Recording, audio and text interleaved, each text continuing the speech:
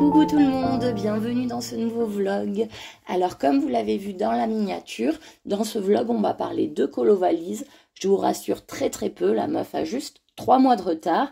On va surtout parler de réception de deux nouvelles gammes de crayons de couleur. Et puis on va parler d'aventures, euh, comment dire, assez incroyables et assez terrifiantes à la fois qui me sont arrivées cet été. Euh, mais avant ça, je dois vous faire part de petites confidences. Euh, pour pas vous laisser devant un écran noir, j'en profite pour vous mettre euh, mes colos terminés depuis le mois de mars à peu près. Alors j'ai longtemps hésité à sortir cette vidéo ou pas parce que elle est peut-être un peu tardive. Vous me direz, enfin oui et non, vous me direz. Mais surtout si vous me suivez, vous avez remarqué que ben, j'ai pas sorti de vidéo depuis dit le mois de mai? Non, quand même pas. Euh, je pense que c'était fin juin, quelque chose comme ça. Euh, alors que j'avais prévu plein de trucs euh, cet été. je vais pas rentrer dans le détail, de toute façon on n'est pas là pour ça, mais à cause de problèmes perso, en fait, des problèmes pas franchement très sympas, j'ai dû quasi stopper le colo. Alors les vidéos, ben, c'est simple, j'en ai pas fait. Autant vous dire que je suis bien bien dégoûtée, mais bon, il y a largement pire, c'est comme ça. Sincèrement, j'ai même pensé à arrêter ma chaîne tout simplement, hein, parce qu'une chaîne sans vidéo, ben, ça sert à rien. Et puis finalement, je l'ai pas fait. Et puis du coup, euh, me voilà. Merci, euh, merci à vous d'être toujours là. Si vous écoutez euh, cette vidéo, a priori, vous n'êtes pas parti et ça me fait chaud au cœur. Allez, trêve de blabla, Marie. On va attaquer ce vlog qui était censé à la base être celui de juillet, mais qui finalement s'étend jusqu'à maintenant. Allez, c'est parti pour du vlog colo, des réceptions de nouvelles gammes de crayons, et puis surtout pour ces aventures euh, totalement incroyables. Pour l'une d'elles, version horreur, pour l'autre, version horreur et version géniale, ben, que j'ai vécu cet été. On y go et coucou, on est lundi 8 juillet, je commence un vlog, donc dans ce premier rush, je vous prends avec toutes mes affaires colo là que vous avez euh, ben, à l'écran. Euh, puisque si vous me suivez, euh, vous savez que chaque été, je loue ma maison à des locataires. Donc, bien évidemment, il est hors de question que je leur laisse mes affaires colo. On sait jamais des fois qu'ils aient des enfants, mais même aux adultes, hein, de toute façon, je leur laisse pas. Euh, bah, tout le reste, je le laisse hein, dans ma maison, sauf évidemment ce qui est précieux ou ce qui a une valeur sentimentale, mais pas ça. Je pense que vous me comprenez pour le coup. Donc pas trop facile là en ce moment la vie de coloriste euh, itinérante, j'arrête pas de faire, de défaire. Euh, là pour le coup en plus de ma colo valise, euh, ben, je dois stocker tout ça, donc je le mets dans mon garage, fermé à triple tour, et puis voilà, comme ça ils n'y ont pas accès. par contre, je me dis là que la prochaine fois, je prendrai des valises à roulettes parce que vraiment, ça pèse un âne mort, tout ça. Dans ces caisses, c'est bien pratique, mais, mais c'est lourd. Voilà. Euh, je vais vous laisser là. C'était juste pour vous montrer euh, ben, l'état de la situation colo. Euh, je vais me dépêcher à ranger tout ça parce que mes bébés vont arriver et vous savez que bébé et à faire colo, surtout qu'il y a voilà, de la peinture, des feutres, etc. C'est totalement incompatible quand on a des murs blancs, tout est blanc comme ça chez moi, donc voilà. Euh, je voulais vous dire aussi qu'il m'arrive quelque chose de juste incroyable. Oh my god. Franchement, je pensais euh, jamais qu'un truc comme ça m'arriverait. Je suis trop trop contente. Euh, je vous dis simplement que ça a un rapport avec YouTube. Je vous dis pas quoi pour le moment, mais promis, je vous le dirai dans ce vlog, peut-être au, au, prochain rush ou alors un suivant. En tout cas, je vous dirai tout ça. Mais je suis trop contente. C'est, c'est une nouvelle euh, énorme. Allez, ben, je vous laisse là. Euh, je vous fais des bisous et je vous dis à bientôt. Il s'agit des crayons dont je vous ai sûrement parlé euh, pendant, ce, pendant ce vlog. Alors, le paquet, je viens enfin de le récupérer. Faisait un moment qu'il est arrivé chez moi, mais comme vous le savez, j'ai les locataires donc pas facile euh, à récupérer. Enfin bref, l'important c'est qu'il soit là.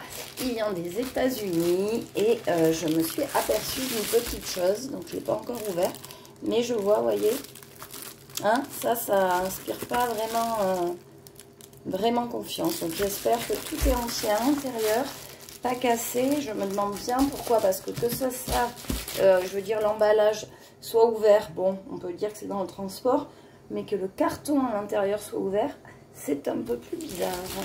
Bon, on y va. Donc, comme vous le voyez, ce sont les crayons euh, Farben ou Spirer Farben. Euh, je vous les présenterai bien évidemment. C'est des crayons que j'avais vus il y a fort longtemps dans une vidéo, mais alors impossible euh, de dire laquelle. J'aimais beaucoup euh, leur look. J'ai regardé des avis. Franchement, c'était positif. Euh, et de ce qu'on en disait, euh, ils étaient susceptibles de me plaire. Et vous savez, mon amour de la découverte de nouveaux crayons.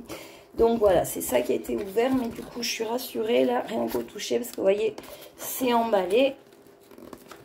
Alors. Je suis trop contente, comme à chaque fois que je reçois des crayons. Franchement, je me dis, euh, ça ne passera jamais. Ça fait à chaque fois comme la première fois. Chose rare. Donc voilà, euh, Artist Colored Pencil. Euh, je pense qu'ils sont pas mal du tout. Il y en a 96. Non, j'enlève le blister.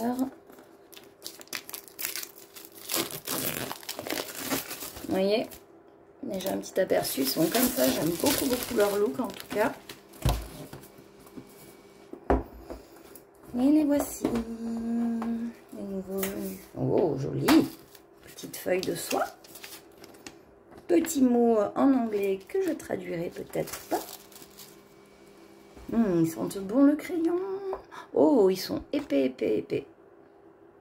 Bon, ben, ils ont l'air pas mal du tout. En tout cas, comme ça, au premier, au premier voilà, ressenti. Euh, épais, euh, large, enfin de bon calibre, voilà, de bon diamètre. Euh, bon, je vous en dis pas plus puisque je vais vous les présenter dans une vidéo. Si combien de plateaux on a? Trois, je pense. Ouais, c'est ça, trois. Pas du tout. Quatre plateaux. Là, ça rentrera tout à, l'image, à peu près. Ils sentent très très bon. Ça sent le bois euh, de qualité. Bon, ben voilà. Écoutez, sur ces belles images, je vous laisse ici. Bon, maintenant, je vais vous raconter cette aventure assez incroyable qui m'est arrivée. Mais avant, je vous laisse découvrir le message que j'ai laissé à la personne euh, ben, qui m'a accompagnée dans cette aventure. Ça vous donnera la tonalité du truc. Vous allez comprendre. Ben voilà, on y est. C'est le dernier jour euh, d'attente. Enfin, même pas, c'est ce soir l'enquête. Euh, comment dire, c'est le moment où je me dis, mais putain, mais qu'est-ce que tu t'es mis là-dedans? Mais pourquoi tu t'infliges ça? Euh, après, je suis bah, hyper stressée déjà. Franchement, j'ai peur, quoi. J'ai la trouille. J'ai les mains moites, j'ai le cœur qui s'accélère, j'ai du mal à respirer. Bref, voilà, psychosomatique à fond. Mais, mais voilà, mais trop contente en même temps, évidemment, trop hâte. Je vais pas tarder à me mettre en route et puis, et puis voilà, à tout à l'heure. Le but, c'est pas de se faire peur, le but, c'est de tenter l'expérience réellement. Ça, c'est pas fait pour me rassurer. J'imagine que c'est inquiétant pour elle. J'ai eu une sensation super bizarre. Mais ça l'est aussi pour moi. Essayez de répondre à ça. c'est. Bon alors, je vous spoil un peu, mais rien ne s'est passé comme prévu. Allez, je vous raconte tout ça. Euh, donc, si vous me connaissez, vous savez que j'aime beaucoup euh, tout ce qui est aventure, euh, sortir du quotidien, quoi. Et qu'en fait, bah, le colo, c'est vraiment le seul truc, le seul domaine où j'arrive à me poser et à rester calme. Ce que vous savez pas, par contre, c'est que bah, je m'intéresse énormément à tout ce qui est du domaine du monde du paranormal. Alors, je ne suis pas croyante à 100% ni, convaincue, hein, loin de là. Mais par contre, voilà, je suis très attirée par ce domaine. Et comme je suis euh, vraiment la seule dans mon entourage à m'y intéresser, euh, je regarde pas mal de vidéos sur YouTube euh, sur ce sujet. Et notamment les vidéos de Jean Vidéo Production. C'est un gros YouTuber qui a plus de 110 000 abonnés. voilà, on joue carrément pas dans la même cour là. Et justement, en fait, il euh, proposait dans une de ses vidéos de participer à un de ses nouveaux concepts qui consistait en fait à faire partir une abonnée ou un abonné seul euh, dans un lieu où lui avait déjà enquêté et où il avait vécu euh, bah, deux, trois trucs assez bizarres, on va dire. donc potentiellement un lieu hanté, quoi. Euh, moi, l'idée de faire ça, en fait, euh, bah, ça, me, terrorisait autant que ça, m'attirait. Donc, je lui ai envoyé ma candidature, ne pensant pas une seconde pouvoir être sélectionnée, parce qu'il y avait euh, apparemment un nombre fou de candidatures. Et chose incroyable, ben, je l'ai été. Et c'est comme ça, du coup, qu'on arrive au 10 juillet, le jour, ou plutôt la nuit, où euh, je suis partie enquêter, euh, donc seule, dans un endroit hanté. Euh, enfin, potentiellement hanté. Donc la nuit, parce que, bah, évidemment, ça se faisait de nuit et dans le noir, vous pensez bien. Donc si ça vous dit, bah écoutez, je vous mets en description le lien de la vidéo et puis sa chaîne. comme ça, si ça vous intéresse, bah, vous pouvez voir ben, cette enquête. Euh, Jean, c'est quelqu'un vraiment de, très bienveillant et euh, d'assez remarquable dans ce domaine-là. Bon, ici, comme on est quand même sur une chaîne colo, je vais pas vous raconter en détail ce que j'ai vécu ou comment, voilà, quel a été mon ressenti. Euh, je le ferai en fin de vidéo, à la rigueur, comme ça, ceux que ça intéresse ben, pourront écouter, et puis les autres couperont la vidéo avant la fin. Eh bien écoutez, comme l'année dernière, c'est la même chose. Je manque cruellement de temps pour colorier. Euh, ben, donc je colorie quand et comme je peux. Donc ici en l'occurrence sur la plage. Et vraiment au final c'est pas le sable qui gêne le plus. Mais euh, c'est plutôt le fait de ne pas avoir de bureau, enfin d'un endroit plat pour poser le livre. Enfin. Euh, ben sinon j'attends ouais j'attends des nouveaux crayons qui m'intriguent énormément donc j'espère les recevoir bientôt. Alors, je vous prends, on est le 23, il est minuit et demi, enfin donc techniquement on est le 24, peu importe. Je vous prends parce qu'il vient de nous arriver quelque chose de juste effroyable, vraiment très mémo. On rentrait de la plage euh, avec mes trois enfants, donc un de 9 ans et deux de 2 ans et demi. Et euh, en fait, en rentrant de la plage pour accéder au parking, il y a une allée entre les dunes, on va dire, en, bois, quoi, une espèce de grande terrasse en bois qui se prolonge. Et au bout de, cette terrasse, il y a euh, des bancs en bois. Mes jumeaux euh, couraient devant à quelques mètres hein, et se sont baissés sous un banc pour regarder ce qu'il y avait dessous. Et en fait, là, j'entends des hurlements. Ils ressortent de sous le banc. Et sans exagérer, les gens tremblent encore. Les deux remplis de guêpes, c'est-à-dire euh, au moins une trentaine de guêpes chacun, de partout, sur la tête, sur le corps, partout. Heureusement, ils étaient habillés, enfin, ils avaient un t-shirt et un short. Et évidemment, ils étaient en train de se faire piquer. Je pense qu'ils ont dû aller décrocher un nid ou quelque chose comme ça, je ne sais pas exactement. Euh, quoi qu'il en soit, ben voilà, ils se faisaient piquer, donc de douleur, les peaux se jetaient par terre. Moi, j'avais la poussette euh, mais le problème, c'est que toutes les serviettes, tout ce qui aurait pu m'aider était dans des sacs sous la poussette, donc pas le temps de les récupérer. Bah, du coup, réflexe de maman, bien évidemment, je me suis jetée dessus et euh, je les ai pris dans mes bras euh, très fort. Je les ai secoués dans tous les sens. Voilà, dans la panique, je n'ai pas trouvé d'autre solution, ce qui fait que j'en ai écrasé plein, qu'il y en a plein qui sont partis. Mais il y avait un nuage, et je passe mes mots là aussi, d'autres guêpes qui arrivaient. Donc on est parti vite, vite, vite panique totale, d'autant que bah, de douleur, forcément, les potes se, jouaient, elles se jetaient par terre, se faisaient mal en plus. mais euh, horrible. Je, je, vraiment, je souhaite à personne de vivre ce moment-là. C'était, euh, c'était terrible, la peur de ma vie. Euh, donc au final, ben, vous savez, je suis, je suis infirmière aux urgences, donc j'ai, vite, enfin, je savais ce qu'il y avait à faire, j'ai compté le nombre de, de piqûres et effectivement, alors un jumeau, ça allait par miracle, vraiment par miracle. Euh, il s'était fait piquer quatre fois, euh, de ce que j'ai vu en tout cas, parce que voilà, je suis allée vite. Euh, et l'autre plus d'une dizaine de piqûres. Donc à l'OSAMU, ils se sont déplacés, ils ont fait ce qu'il y avait à faire. Heureusement, aucun des deux n'est allergique, hein, puisqu'ils jamais fait piquer. Donc moi j'avais très peur de ça. Pas d'allergie, les, tous les constantes vitales étaient, étaient OK. Euh, mais voilà, pour euh, le médecin m'avait bien dit que pour leur poids euh, et leur taille, quoi, la dose de venin qu'ils avaient, qu'ils avaient reçue était vraiment énorme.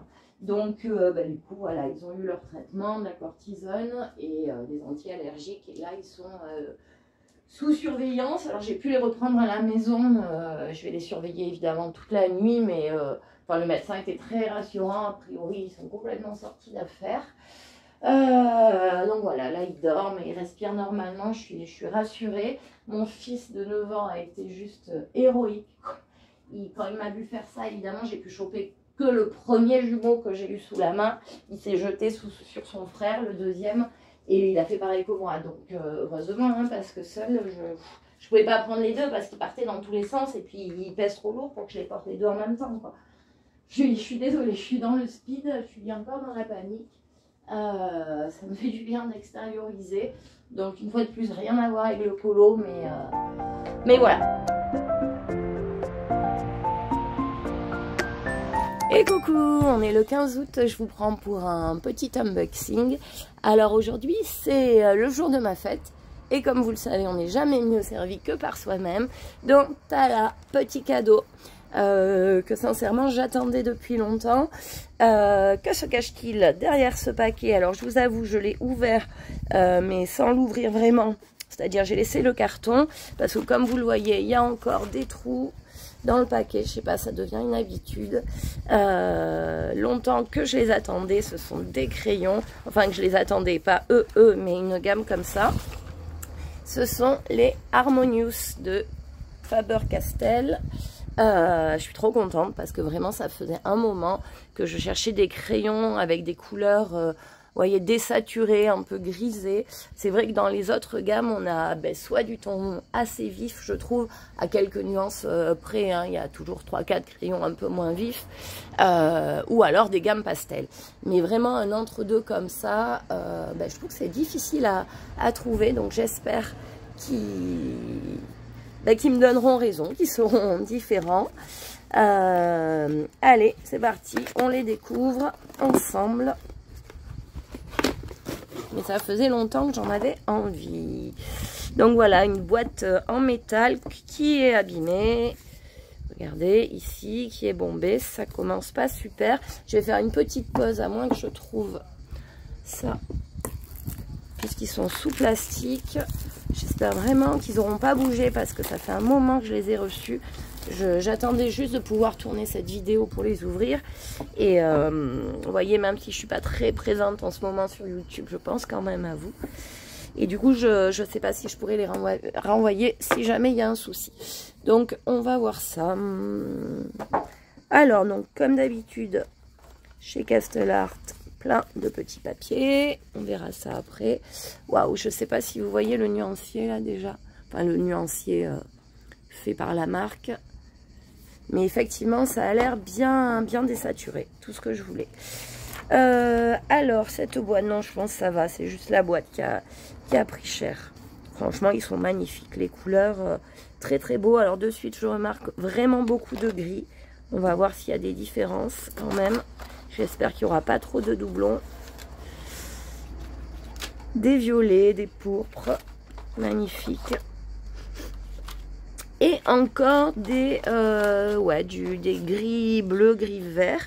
Alors, je vous avoue que là, comme ça, directement, je me demande où sont les jeunes. Euh, les rouges, mais en même temps, c'est vrai que c'est des couleurs euh, difficiles à désaturer. Donc, bah, écoutez, on verra bien, il n'y a plus qu'à. Il n'y a plus qu'à faire le nuancier déjà pour commencer. Puis, euh, je pense que je vous ferai une présentation, même c'est sûr. J'en ai déjà une autre à tourner, puisque j'ai reçu deux nouvelles gammes de crayons. Mais en tout cas, ils ont l'air bien. Bon, après, euh, on le sait, c'est de la bonne qualité. Castle Art, c'est pas du haut de gamme, mais ça reste de la bonne qualité. Euh, bon, j'imagine qu'il y a eu d'autres présentations entre-temps. Euh, pour être honnête, ça fait ça fait quoi? Ça fait un mois facile que je n'ai pas regardé YouTube. voilà, c'est l'été, j'ai pas le temps. mais je vous oublie pas, promis. Allez, ben à très bientôt, j'espère. Bon, ben je fais le nuancier euh, de ci, de là, quoi. Je prends pas le temps de le reclasser, parce que, enfin, de reclasser les couleurs, euh, sinon euh, je l'aurais fini dans mille ans, quoi. Et j'utilise en fait le nuancier fourni par la marque, j'avoue que ça m'arrange bien. à première vue, la texture de ces crayons est assez sympa, en tout cas je l'aime bien. Plutôt gras, mais pas beurre non plus. bon, de toute façon, je vous dirai exactement ce que j'en pense quand je les aurai vraiment testés. Euh, bah sinon, euh, vous pouvez pas savoir comme vous me manquez. Euh, les échanges que je peux avoir avoir avec vous euh, dans les commentaires ou autre quoi le fait de, de faire des vidéos aussi et puis le fait de, de colo surtout quoi euh, c'est vrai que c'est souvent quand on n'a plus les choses qu'on prend vraiment conscience de leur importance c'est toujours pareil hein. Et là, vraiment, je suis en manque total. Je me rends compte d'ailleurs euh, du côté thérapeutique de cette activité. Enfin, en tout cas pour moi, hein, pour mon cas. Et j'en arrive carrément à espérer euh, la reprise vite vite de l'école pour avoir un peu plus de temps pour moi, quoi, et pour cette activité. Euh, bon, ça va pas être forcément évident avec les changements qu'il y a eu récemment dans ma vie, mais en tout cas, ça sera peut-être plus simple. Bref, euh, d'ailleurs, euh, est-ce que ça vous dit que je fasse une vidéo euh, sur le côté art-thérapie du colo, quoi, sur le pourquoi on colorie? Bah si oui, dites-le moi en commentaire.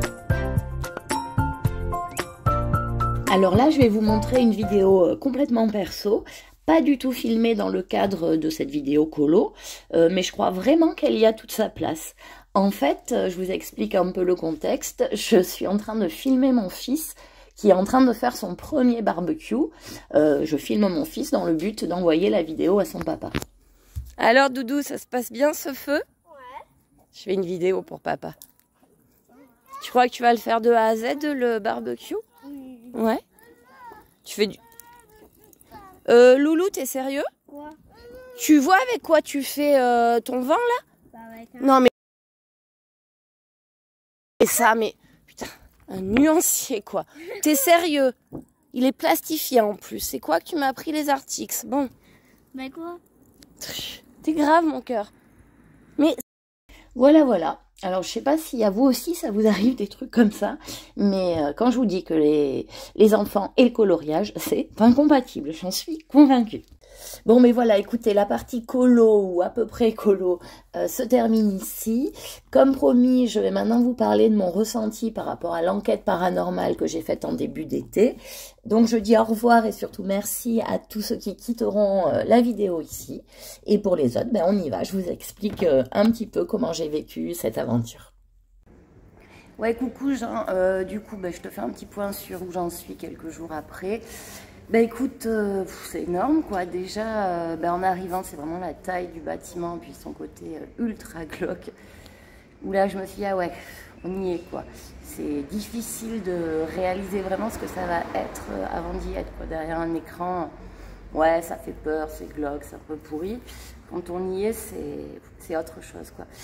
Donc déjà ça, du coup, ouais, en voyant ça, je me suis dit, évidemment que j'avais envie de faire machine arrière j'avais la trouille, donc je me suis dit, euh, bon ben, vas-y quoi, il n'y a pas le choix. Donc je me suis débranché le cerveau et, euh, et, je me suis mis un peu en mode guerrière, en mode euh, lâche rien, quoi. Ça fait des années que tu que tu regardes des vidéos paranormales, que tu as trop envie d'y être, euh, c'est ton moment, c'est ta chance, c'est maintenant, euh, vas-y quoi, lâche rien.